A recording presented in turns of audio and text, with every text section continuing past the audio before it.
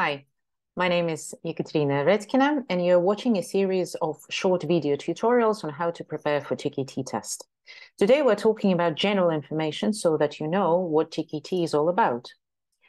So TKT test stands for Teaching Knowledge Test, and it has five modules. There are three core modules. Module one would uh, cover language and background to language learning and teaching. Module two is about lesson planning and the use of resources. Module three covers managing and teaching um, and learning processes. Uh, so there are three core modules and two specialist modules. One is uh, for teachers who work with young learners. And the second one is for everyone who is interested in content and language integrated learning or CLIL. Why to take TKT in the first place?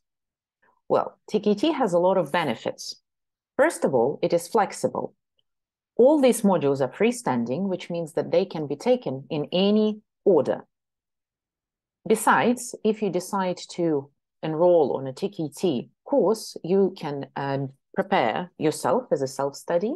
You can join some preparation groups, or you can uh, proceed with online preparation. Second point, uh, second benefit of TKT is that it's very accessible. It's offered internationally. It has no formal requirements, so anyone can do it. And it suits different teachers. I'll talk about it in a minute. And it is globally recognized. So if you have the certificate, you uh, will uh, be able to show it anywhere in the world, and um, your colleagues and um, other teachers will know what it means. So who is TKT for? Let's talk about teachers who can take the, um, the test. TKT suits both new and experienced teachers. So it doesn't matter how much experience you have, you still can try um, to do the test.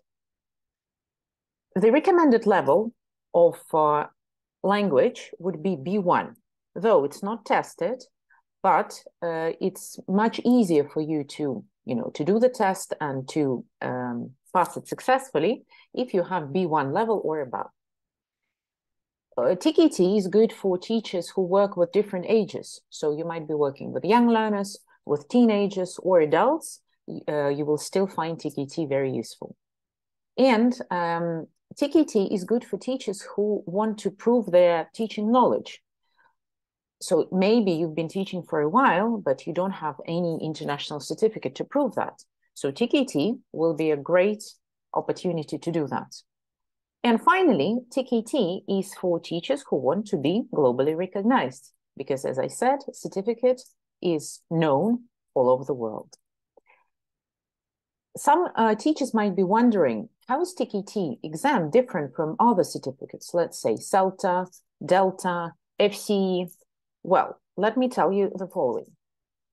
TKT doesn't check your language level. Let's say uh, what FCE exam does, um, B2 certificate, or advanced certificate, or proficiency. So TKT is not for that. It doesn't check your language level. It checks your professionalism as a teacher, right? So it's very different from language language certificates. Besides, uh, TKT has no writing or speaking part like you have it, for example, in um, language exams, right? Or you have uh, written assignments in uh, CELTA or Delta. There is no assessed teaching practice. So you're not teaching, you're not being observed. And um, this usually happens in CELTA and in Delta, but it doesn't happen in TKT. It has no uh, continuous assessment or coursework, so you are not um, doing any assignments. So TKT is just a test. And TKT has a limited number of task types. It means that uh, you don't, um, you shouldn't be expecting anything besides matching, multiple choice, sequencing, and odd one out, which makes it very predictable and manageable, right? So this was it about TKT in general. I hope now you have a clearer picture about the test and um, good luck with your preparation.